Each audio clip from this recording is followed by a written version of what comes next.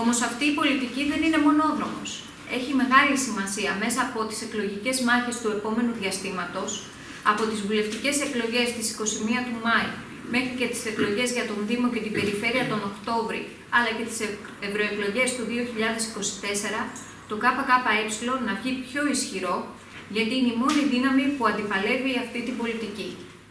Το ΚΚΕ με τα μέλη του και τους συμπορευόμενους στη Βουλή, στους Δήμους, σε κάθε χώρο εργασίας, αγωνίζονται για τη βελτίωση των όρων εργασίας και διαβίωσης των εργατών, των ανέργων, των βιοπαλιστών αυταπασχολούμενων και αγροτών. Αγωνίζονται για να βάζουν εμπόδια στις αντιλαϊκές πολιτικές που έρχονται ενιαία από κυβέρνηση και δήμους και αναδεικνύουν τις δυνατότητες που υπάρχουν για την κάλυψη των σύγχρονων λαϊκών αναγκών αν ακολουθηθεί μια διαφορετική πολιτική. Γιατί μπροστά σε κάθε πρόβλημα ανοίγονται δύο δρόμοι για το λαό. Από τη μία ο δρόμος του συμβιβασμού και του χαμηλώματος των απαιτήσεων και από την άλλη ο δρόμος του αγώνα και της διεκδίκησης. Σήμερα λοιπόν ο λαός δεν έχει ανάγκη από δημάρχους που θα υπηρετούν την κυβέρνηση και την Ευρωπαϊκή Ένωση, που όπως έχει δείξει η ιστορία ε, ε, και που όπως έχει δείξει η ιστορία, στο παρελθόν υπήρχαν ε, δήμαρχοι αγωνιστές που δούλευαν μαζί με το λαό της πόλης, τον κινητοποιούσαν και διεκδικούσαν κόντρα σε όλους τους ισχυρούς που είχαν απέναντί τους. Αξίζει να σημειώσουμε όμως ότι τέτοια παραδείγματα και δυνατότητες υπάρχουν και στο σήμερα.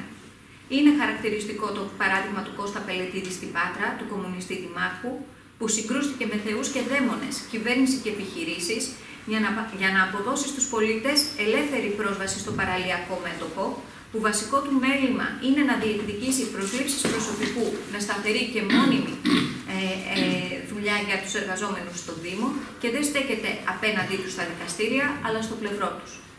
Είναι ο Δήμαρχος που θέτει στο επίκεντρο τις σύγχρονες ανάγκες των πολιτών και του εξυγχρονισμού, ολόκληρου του πολεοδομικού σχεδιασμού και της αστικής κινητικότητας, διεκδικώντας ακόμα και την υπογειοποίηση του σιδηροδρομικού δικτύου αντί της υπογειοποίησης της κίνησης και της ζωής των πολιτών. Κανένα από τα παραδείγματα του Δήμου Πατρέων δεν είναι τυχαίο. Όλα βρίσκουν έκφραση και στο Δήμο μας και δείχνουν πως η Δημοτική Αρχή Αμπελοκήπων Μενεμένης, με επικεφαλής στον κύριο Κυρίζογλου εδώ και πολλά χρόνια, στρατεύεται με τα συμφέροντα των επιχειρήσεων και όχι του λαού. Ενδεικτικό της πολιτικής της Δημοτικής Αρχής Κυρίζογλου είναι το γεγονός ότι συμβιβάζεται, για να μην πούμε ότι ενισχύει την παρουσία βιομηχανικών και συγκοινωνιακών δραστηριοτήτων στην περιοχή μας, χωρίς την απαραίτητη έγνοια για τους πολίτες. Έτσι, στο δικό μας παραλιακό μέτωπο συντηρούνται οι επικίνδυνες για εκδήλωση σοβαρού βιομηχανικού ατυχήματος ε, εγκαταστάσεις δεξαμενών πετρελαίου, δίπλα σε οικισμούς και σε περιοχές ιδιαίτερου φυσικού κάλους. Παράλληλα, ο Δήμος δεν συγκρούεται με την τάση χετοποίησης περιοχών λόγω των πολλαπλών τομών του οικιστικού ιστού από οδικές και σιδηροδρομικές αρτηρίες, όπως είναι ο Βόσπορος και ο Δεδροπόταμος. Η εγκαιτοποίηση επιτείνεται από την έλλειψη διαδημοτικής συγκοινωνίας και πεζοδρομίων, του ανεπαρκούς φωτισμού και κυρίως διότι οι σχεδιασμοί που επιλέγονται προκρίνουν τις ανάγκες των εκάστοτε εταιριών και όχι των πολιτών. Για παράδειγμα, η υπόγεια διάβαση για πεζούς και οχήματα στην Αγία Παρασκευή εξυπηρετεί σε μεγαλύτερο βαθμό τις ανάγκες του σιδηροδρομικού δικτύου παρά των δημοτών. Οι ανάγκες των δημοτών για γρήγορη, εύκολη, ασφαλή μετακίνηση θα καλύπτονταν με, με τη τμηματική υπογειοποίηση του σιδηροδρομικού δικτύου η οποία θα απελευθέρωνε χώρους για διαμόρφωση πρασίνου, σχολείων, αθλητικών κέντρων και που θα μείωνε την υπορρίμανση.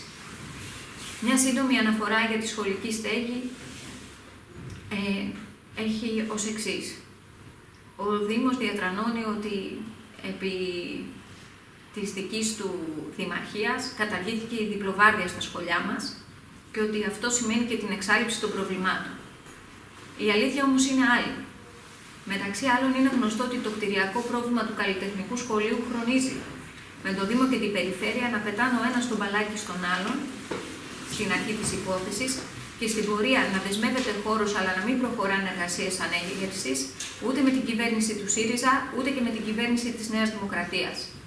Αν αναλογιστούμε ότι οι παιδικοί σταθμοί στεγά, στεγάζονται σε νοικιασμένα ισόγεια καταστήματα, ότι σχολικά συγκροτήματα έχουν ανεγερθεί πριν από το πρόσφατο αντισυσμικό κανονισμό και που η ηλικία τους σκοτεύει τον αιώνα, αντιλαμβάνεται κανείς ότι η πραγματικότητα απέχει πολύ από τις σύγχρονες προδιαγραφές ασφαλείας και τις σύγχρονες εκπαιδευτικές ανάγκες των παιδιών και των οικογενειών τους.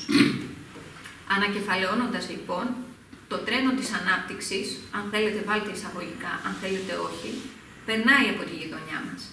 Το ζήτημα είναι στις ράγες ποιας ανάπτυξης θα μπει; Ανάπτυξη με βάση τις λαϊκές ανάγκες και τις δυνατότητες του τόπου και της εποχής μας; Ή με βάση την κερδοφορία και τον ανταγωνισμό των μεγάλων επιχειρηματικών ομίλων. Διαχρονικά, το ΚΚΕ επιλέγει το πρώτο.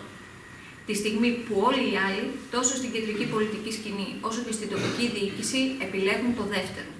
Γι' αυτό το κράτος τους έχει συνέχεια στην αντιλαϊκή πολιτική, παρά τις εναλλαγές των κυβερνήσεων, παρά τις αλλαγές των παρατάξεων στις διοικήσεις των Δήμων ή ακόμα και τις συνενώσεις των Δήμων. Γι' αυτό λοιπόν, όσο πιο ισχυρό το ΚΚΕ, τόσο πιο ισχυρός ο λαός την επόμενη μέρα των εκλογών. Όσο πιο ισχυρή η λαϊκή συσπήρωση, τόσο πιο ισχυρή στο Δήμο η φωνή του λαού. Το σενάριο λοιπόν, όπως είπε και το σενάριο αυτό το οποίο ε, προωθεί η λαϊκή συσπήρωση και το ΚΚΕ, θέλουν το λαό πρωταγωνιστή. Για να διεκδικήσουμε μαζί την κάλυψη των σύγχρονων αναγκών των πολιτών σε σχολική στέγη, για την προστασία της πρώτης κατοικίας, για δωρεάν πρόσβαση σε αθλητικές ε, ε, υπηρεσίες, ε, υπηρεσίες υγείας, για δραστική μείωση των ανταποδοτικών τελών, για άμεση και πλήρης στελέχωση με μόνιμο προσωπικό όλων των υπηρεσιών του Δήμου.